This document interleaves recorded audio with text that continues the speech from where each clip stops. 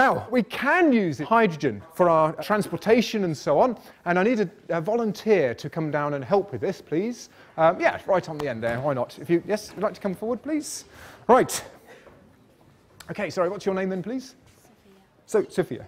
Okay, right, now Sophia is going to launch a rocket here. We have a rocket at the back filled with hydrogen and oxygen, and Mark's going to uh, give you your safety equipment. I'll just explain what's going on here. So the rocket here is filled up with hydrogen and oxygen. And in a moment, we're going to put an electrical spark across there, which should, I hope, send our rocket across. So we'll have a countdown from three.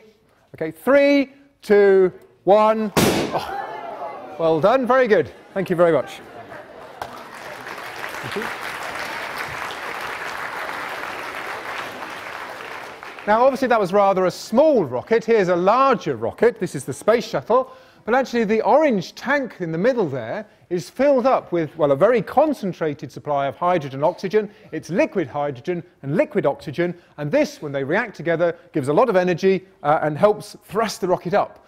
The white rockets either side, well, those don't contain hydrogen oxygen. We'll come back to those ones. But um, the blue flame that we see here, not the yellow flame, but the blue flame is the hydrogen and oxygen combining, um, forcing, helping push the space shuttle into space.